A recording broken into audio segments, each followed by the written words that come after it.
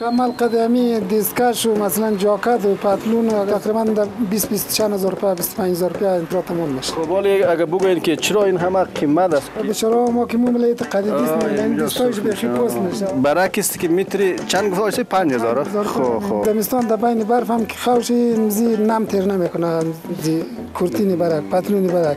نیمت هم این نیمتا که سر سیمج خالی که پرتی از این نم تیر نمی‌کنه. این سال تحولات چقدر تاثیر کرد بر بازار صنایع دستی؟ هر سال که بودی زیادتر خارج هم می‌رفت. دمی داخل هم پیسه دارا می‌خرید. دیگه امسال هم تحول که آمد دیگه مسئله خارج کلی سفارت ها قطع شد رفت آمد های خارج ویزا و اینا بند شد پروازا.